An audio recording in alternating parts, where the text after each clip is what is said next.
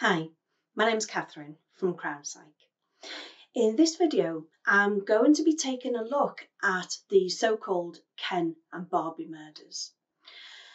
Homoko and Bernardo are a married couple who appeared to be an average couple, but they worked together to lure, torture, rape, and murder adolescent girls. They videotaped their crimes, which documented the horrific torture and rapes. I first looked at the details of this case when I was asked to take part in a podcast by Two Girls, One Murder, which you should definitely look up and have a listen to as they're really interesting. I had briefly looked at the case that they'd suggested and I mentioned to the girls how suspicious the actions of the wife had been. She had appeared and presented herself as a victim in the case, but she played an active part in the murders. I suspected at the time that she might have been a psychopath. I will talk more about that later in the video. Before I go on to talk about the murders that the couple committed together, it is quite helpful to tell you a little bit about Paul Bonato's background and his crimes prior to the murders. Paul Bonato's upbringing was in a wealthy suburb. His father was abusive and had been physically and sexually assaulting Paul's sister on several occasions. Bonato later learned that this man was not his real father. It is extremely psychological damaging to grow up in an environment like this. Witnessing or knowing that his sister is being physically and sexually assaulted and not being able to do anything about it probably caused feelings of anger, rage, resentment, shame, and possibly helplessness. Having a male role model like this goes some way to normalizing this type of behavior. He's also likely to have anger and resentment towards his mother. First of all, for not protecting either of them, and secondly, for bringing this man into their home and presenting him as their father. Most people who abuse others were abused as children, but the reverse isn't true most people who are abused as children never go on to abuse others. Bonato went on to carry out a number of rapes. He attacked most of his victims after stalking them as they got off buses late in the evening. When the police were investigating reports, two reports came in that suggested Bonato was the possible culprit of these rapes. One of them was a bank employee, and the other one was the wife of one of his close friends. She'd told them that he'd been interviewed as a suspect in previous rapes, but that he'd been allowed to go, and that he'd spoken to her about this and about his sex life on a number of occasions. The woman had said that he'd told her that he liked rough sex, anal sex, and anilingus. Bernardo was called in for interview. However, because the woman's language and account didn't come across as credible, and Bernardo's did, he was then interviewed and allowed to go, and the police didn't investigate this any further. As with other cases which I've looked at, being called in by the police and then allowed to go afterwards reinforces the offender's actions to them. He will probably have felt as though he was able to progress and to carry on offending in that way. The rapes that he had carried out had all escalated in seriousness. He'd raped the first two victims, then he used violence by beating his third victim then he broke into the house and threatened the next victim with a knife. This then progressed on to him using the knife on future victims. In the past, I've used the analogy of drug use and linked that to the progression of violence in a crime. At first, you need just a really small amount of that drug or that violence, and it gives you the feeling that you want. The next time, you need a little bit more of the drug to get the same level of the high. The next time, you need a little bit more, next time, a bit more, and so on. And exactly the same is true for violent behaviour. In her early life, Karla Homolka was, for all intents and purposes, a normal child from a normal family.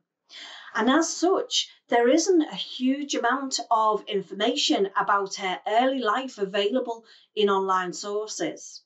She grew up in Ontario in Canada in a well adjusted family of five, and she was the oldest of three daughters. Her friends from school remember her as being smart, attractive, popular, and an animal lover. Following her high school graduation, she began working at a local veterinary clinic. Homolka and Bernardo met, and Karla's family seemed to quite like Bernardo, and he spent quite a lot of time with them. One online source said that he told her of his sadistic sexual fantasies and that she encouraged him and was excited by it. However, it doesn't give a reference for this information, so I can't really confirm whether this is true or not, and I can't cross check that with other res- resources. Bernardo would often flirt with Tammy, who was Karla's sister. It was reported that he became quite obsessed with her and he'd peer into her window and he even entered her room as she slept to masturbate. Karla helped Paul by breaking the windows in her sister's room to allow him access. It's very likely that she felt some resentment towards her sister because of the attention that her boyfriend would show her. There's possibly an element of wanting to please him so that he would like her more. And Karla eventually went on to drug her sister with some sedatives that she obtained from her work. She wanted to give Bernardo a gift of having sex with her sister, who was a virgin. For a person with nothing remarkable in their background, or at least that I could find in online sources, it's very unusual to act in this way. In my opinion, one of two things could have been happening here. Firstly, she could have been so obsessed and in love with him that she took on his worldview and would have been willing to do anything to please him. Or, secondly, it could be that the desire to manipulate and control others had always been there, and she was experiencing the pleasure vicariously through Bernardo. Homolka drugged her sister on two occasions, and on the second occasion, she died from choking on her own vomit as a result of this. And because Tammy had been drinking earlier in that evening, neither the authorities nor the family suspected any foul play. Bernardo and Homolka's relationship had developed very, very quickly. He would shower her with love affection, and presence. However, it is reported that he was verbally abusive with her at times.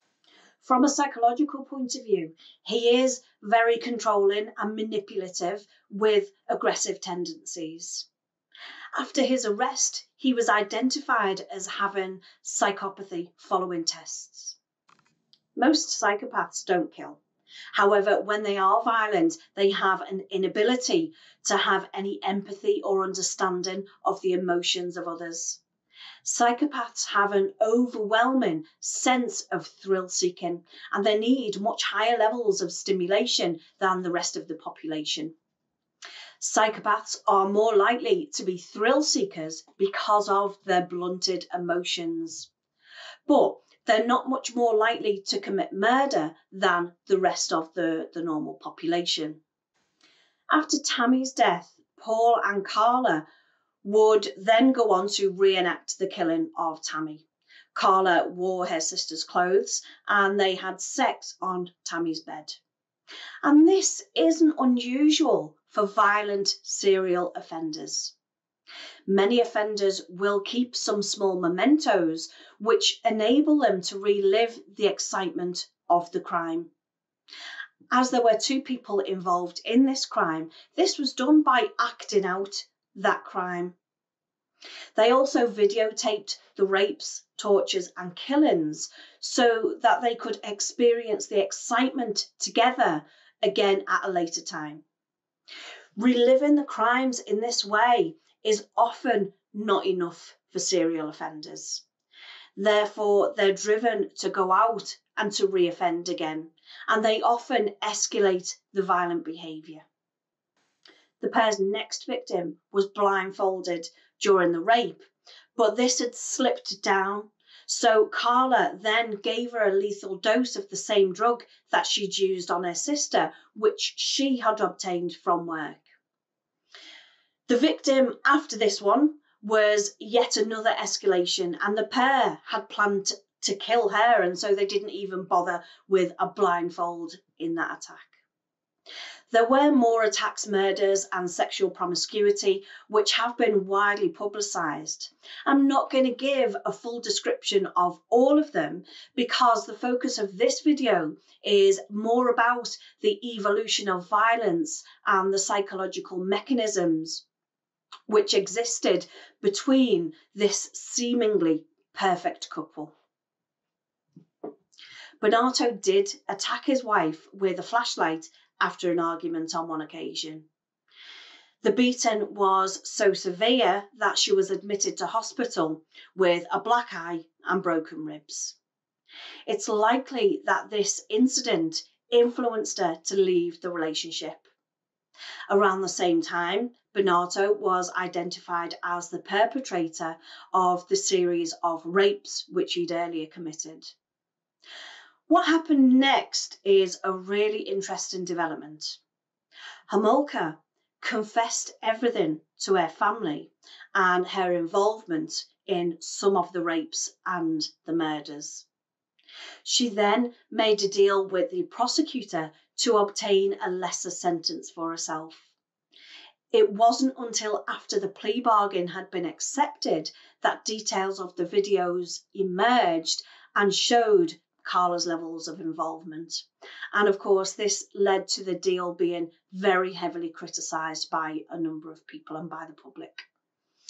Karla obviously recognised that the situation was grave and that details of her involvement would inevitably emerge.